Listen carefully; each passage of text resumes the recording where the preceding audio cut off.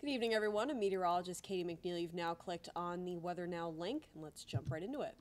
Taking a look outside, very clear visibility now at this hour. We'll be looking at cooler temperatures overnight tonight with overnight lows settling in the low 50s, so a little bit cooler than what we've seen the past couple of nights with lower dew points accompanying that as well. And as far as conditions go, we're very quiet across the area. We'll head towards another very nice day tomorrow on Monday to start your work week. Again, the only change really for the start of the day will be those cooler early morning temperatures. So as you're stepping out the door, kind of around uh, 6, 7 o'clock, we'll still see those lingering temperatures into the 50s, but we'll warm up fairly quickly. Lots of sunshine throughout the day with your highs. Pretty similar to today. Highs inland will be in the upper 70s to around 80 down at the coast, kind of right around that 70 degree mark, but dew points will be a little bit less, so it'll feel more comfortable air wise than what we've seen over the weekend here. And as we head towards the overnight, we'll start to see a build of clouds as high pressure moves farther to our east as we head towards Tuesday, more of a mix of sun and clouds throughout the day on Tuesday but we'll be staying dry.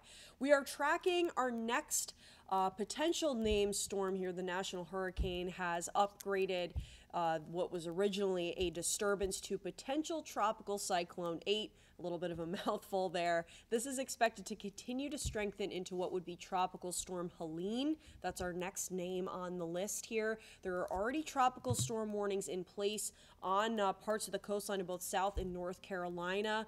With that, the major question that we have here locally is as of right now, most of the moisture is expected to stay well to our south, but some of that could work its way up towards southern New England around Thursday timeframe, Wednesday into Thursday.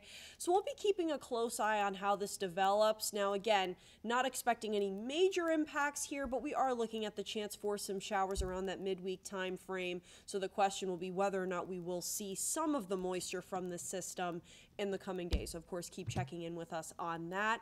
And let's take a look at your Monday morning here. Again, in the meantime, conditions very quiet, lots of sunshine. It'll be a cool start, but we'll warm up fairly quickly as we head towards around midday. Your afternoon highs very seasonably warm very dry as well with those lower dew points, comfortable conditions, lots of sunshine with those highs in the upper 70s to around 80. So again, another gorgeous day on tap for Monday. High pressure will start to move away from southern New England or our area rather uh, as we head towards Tuesday, but still staying dry. That first chance for showers is looking to be Wednesday, but mainly later in the day Wednesday into Thursday. Of course, we'll keep you guys updated in the next couple of days about the exact impacts and what we're expecting. But in the meantime, enjoy a gorgeous start to your work week. And as always, you can get your full forecast anytime at WPRI.com.